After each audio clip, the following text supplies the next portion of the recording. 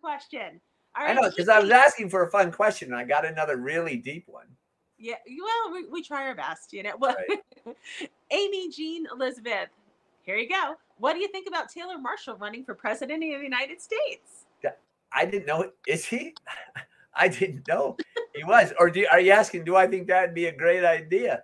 I think it's um, about you know, like, oh, I should run or something. Like, yeah. No, he is, Father. That I've just looked now on Twitter, and LifeSite even posted an article, breaking news, is he? that he's running.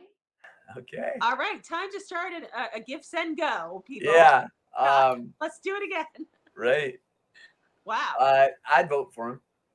He's uh, listen. Here's something about Taylor Marshall. He's holy. He studies his faith. He knows his faith. Uh, and he is an incredible teacher of the faith. And uh, uh,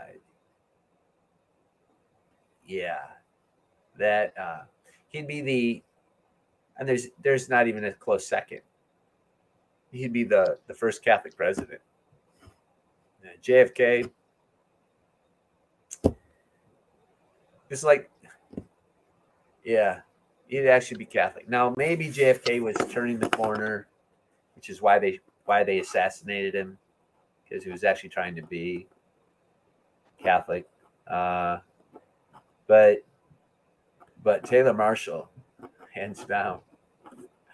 Wow, uh, that that's really awesome that he's doing this. I, I'm I thought I thought you're just like being humorous.